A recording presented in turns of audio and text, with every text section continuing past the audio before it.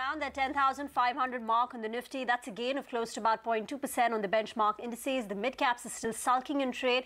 Uh, the index lower by about 150 points, a cut of 0.8%, with the advanced decline ratio negative. Two stocks in the green for three in the red. We've been talking about the recovery which took place in the Asian markets, uh, but it's getting a bit choppy now. So, first, the Hong Kong uh, market or the Hang Seng had about a 60, 650 point recovery from the lows, but right now, as we speak, it's back into the red and it's lost close to about 150 points from the top of the day. So getting a bit choppy uh, after that recovery that we saw. The Chinese markets are still higher in trade uh, with a gain of close to about 1%. And one of the reasons for that could be a possibility of the thaw in the relationships uh, or in the trade tensions between US as well as China. Uh, there is a headline in the Hong Kong Daily South China Morning Post which says that the Chinese Vice Premier Liu He is expected to visit the United States shortly for talks with its economic counterparts aimed at easing the rising trade tensions ahead of a meeting between the two countries. Remember, Trump as well as Xi Jinping will be meeting at G20 beginning the 30th of November. So hopes are that there could be some thaw in a relationship uh, in the trade tensions between US as well as China. But back to our own markets, a big day in terms of the earnings. You've got Tata Steel, Sun Pharma, Glenmark, amongst others, reporting numbers. Let's kickstart with the expectations of what to watch out for with on Tata Steel. Nigel joins in. Nigel? Well, Tata Steel's numbers will look very, very strong on a year-on-year basis. Now, to give you the basic numbers, on the top line, we're working with a growth of around 23%. Margins should come in at around 17.5%. And profitability should come in at around 2,000 crores. Now, those are the most unimportant numbers because for Tata Steel, you're looking at the geographic breakup. Few important points to note. We already have the sales volumes with us. Realizations are much higher on a year-on-year basis. And input cost will impact the non, uh, non-India part of the business, particularly coking coal prices as well as iron ore prices that are moved up. For the India business, the volumes we already have, that's coming high by around 14%. The automotive and special products business, that has seen a growth of around 17%, telling you they're focused on value-added products. The EBITDA per ton, that's a crucial number, should come in at around 16,600 rupees per ton.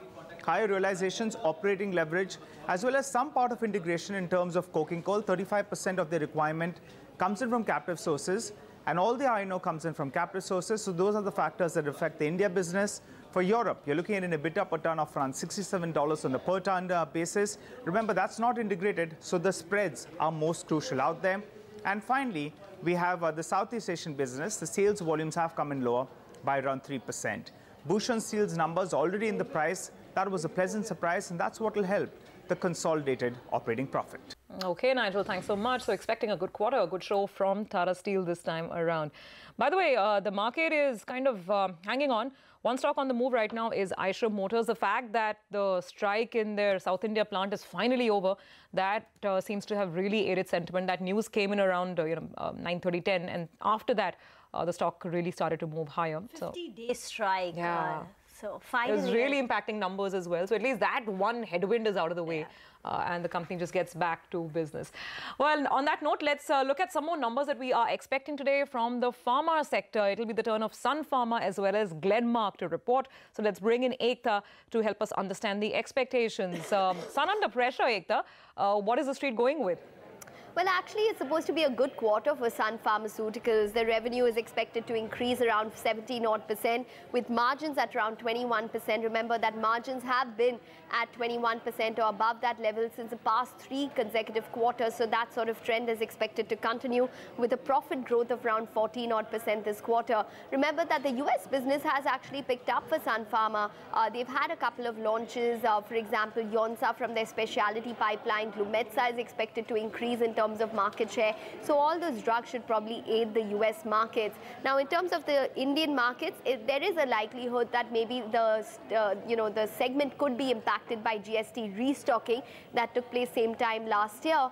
So uh, that would be something that we'd watch out for. In terms of commentary, there is a lot of buzz with regards to a Halol re-inspection in the month of November, whether it is product specific, what, what are the dates, and um, what exactly are the trends in the US business when it comes to price pressure and the specialty drug pipeline, such as uh, the launch of Tildrakizumab, which took place in the month of October, would be something that the street would be watching closely. Okay, and what about Glenmark? Uh, the key things to track over there? Well, you know, for Glenmark, actually, the revenue is expected to grow around 10 odd percent, margins at 16 and a half odd percent, with a profit growth of around 6 odd percent. Now, for the US markets, you know, the US market has been a pain point for Glenmark. It's declined year on year for the past four quarters. It's also because they had a heavy um, launch last year from, uh, you know, cholesterol drug Zetia, which they had exclusivity on. So there is that base impact which comes into play. But ex of that, the company had uh, mentioned, you know, price pressure being uh, something that they would look at closely and has been something that has been impacting their sales. So that is something that the street would watch out for. The in Glenmark has a very strong India franchise, and uh, especially in the dermatology space. So how much they would be affected by the GST restocking? The business was up around five and a half odd percent same time last year. Would be something that would be watched closely, as well as the company's been hiving off their businesses. For example, they struck a deal in terms of the API business, um, or rather they would like to strike a deal in the API business. They've hived it, for, uh, they're planning to hive it off into a separate arm. So all of that would be important commentary to watch out for. Okay, Ekta, before we uh, let you go, uh, another stock in focus today from your sector, Aurobindo. I mean, it, initially it looked like it was a decent performance, but what is the takeaway from the call? Stock is still under pressure. Well, it is a decent performance and there is nothing wrong with the management commentary as well. So it is quite perplexing that the stock has fallen around 3 to 4 odd percent. Uh, the numbers were fine uh, in terms of the revenue growth for US. It was up 12% Q on Q. The antiretroviral business was up 17% year on year. In terms of what they have mentioned in uh, their conference call, the net debt was down around $20 million Q on Q. They're sticking with their debt guidance of FY19. X in organic activities at $450 million, injectables growth guidance of around 30 odd percent. So all of this sounds good for Aurobindo. Um, maybe, you know, the opinion is that uh, they've probably topped out in terms of the best kind of profits that they've achieved for some time because they have key drugs such as ertapenem which will start seeing competition going forward and what the pipeline might be uh, looking like going forward. So maybe there is a, uh, a worry which is coming in through because of that. Thanks, Ekta. Looks like, along with you, the pharma index too has got the flu. Uh, the Nifty Pharma is the worst performing index today with a cut of close to about 2 odd percent. Thanks again for joining in. Uh, let's invite Ashwini Gujral and Rajat Bose uh, to talk about the market technicals. Um, Ashwini, ambling along, at least for the benchmark indices, put in a bit of a recovery, about 50 points off from the early morning lows. How would you trade the index? Well, ambling along does not help because uh, you know, the kind of rally you are seeing from 10 450, which is a fairly decent support, is not very inspiring. You know, you, anything can rally 40 50 points from the lows. But given the positives that we had locally and Asia has recovered, etc., uh, I would think this is a good place to get short on the market, keep a stop around 10 550, etc. And I think the, the market is not reacting in a big manner to positive news flow. Uh, so that way, you know, put your stops and, uh, you know, take short positions both on Nifty and Bank Nifty. the market at best could be choppy, but at higher levels, we've clearly seen, you know, big selling tends to come back. So uh, I see no reason why this time things could be different. Uh, having said that, uh, pharma index is fairly weak. So Sun Pharma is a sell with a stop of 570, target of 540. Wockhardt is a sell with a stop of 540, target of 520. And Jubilant Food is a buy with a stop of uh, uh, 1110, target of 1150. Okay, uh, so a little cautious on the in the season overall, looking at a short call. Actually, uh, any trade on these OMCs for today? I mean, it's it's an up day for them today at least.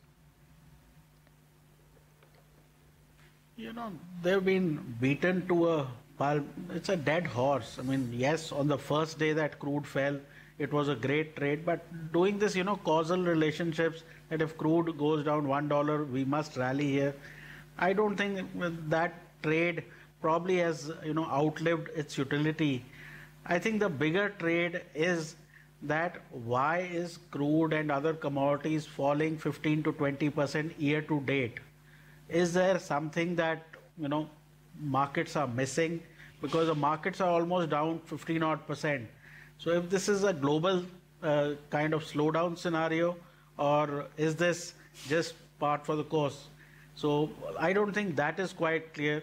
So uh, long positions you know you need to be very cautious because on another day 69 crude you know rbi and uh, you know government patching up, etc., that would have led to a more substantial rally. So the upsides are kind of looking labored. Just for uh, today, there is a Nomura note which has come out on oil marketing companies where they say that oil marketing companies have not passed on the entire benefit of the crude price uh, fall to the customers, as a result of which the gross margins for the oil marketing companies have improved sharply in the last few days. For petrol, it now stands at 3.9 rupees per litre, while for diesel, the gross margins are now at 2.7 rupees per litre. So pretty much getting back to those normal levels. Rajat Bose. Okay, we'll uh, just try and reconnect with um, Rajat. Um, Ashwini, in the meanwhile, um, how would you approach the recovery that we're seeing on Eicher Motors? Would that make for a trade? See, this is not an year for autos. And uh, basically, Eicher Motors from 30,000, it fell to like 21,000. Sure, it can go back to say 24, 24, 5, but it's not really in a uh, you know, big uptrend. And we've seen with Maruti, Hero Moto, these guys have all fallen you know, 20, 25%. So I think, you know, if you are really long term, maybe you can buy. But I think today's play may just be over. Okay. Well, we also have Rajat Bose now joining in with his take on the market and some stock ideas as well. Rajat, good afternoon to you. How do you re read this uh, very range bound action last one or two sessions and, of course, stock ideas? I would say that unless the Nifty falls below, say, uh, uh, 10,480, uh, I don't think there would be much of a big fall right now, although the sentiment continues to remain weak. But uh, once it takes out, say, 10,520 and sustains above that, then there is a possibility that 10,553 to about 10,565 could be scaled up. And uh, regarding the stocks, I have chosen two stocks. One is a pharma stock, which I personally hold in my long-term portfolio, but for the day it's a sell. Sun Pharma November futures, you uh, put a stop loss above 571, and uh, targets would be 555, 551. If 555 uh, 551 is taken out, then it could head for 548 to about 545 range. And the one stock that I would like to buy, Pidilite November futures, I would put a stop loss uh, below 1030 and the, my targets would be 1054 and 1062. Okay, all right. Uh, thanks very much uh, for giving us those uh, trading ideas, gentlemen, Ashwini and Rajat. Uh, by the way, that margin number has pulled down Nesco quite sharply now. Market's not happy with the kind of fall that they've seen year on year on margins. Uh, so that's the stock performance uh, heading to the low.